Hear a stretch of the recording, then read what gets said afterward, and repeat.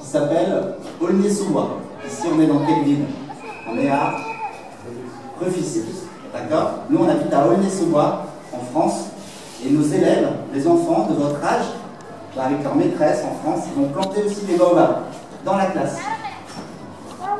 Et vous, vous aurez votre baobab aussi. Dans votre classe.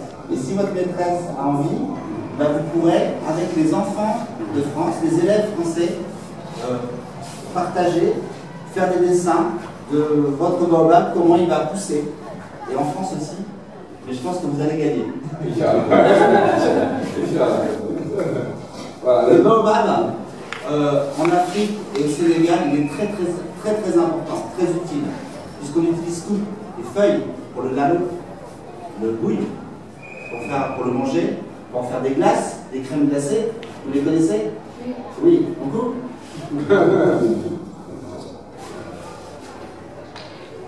Donc c'est un arbre qu'il faut protéger, il faut s'en occuper au Sénégal, d'accord?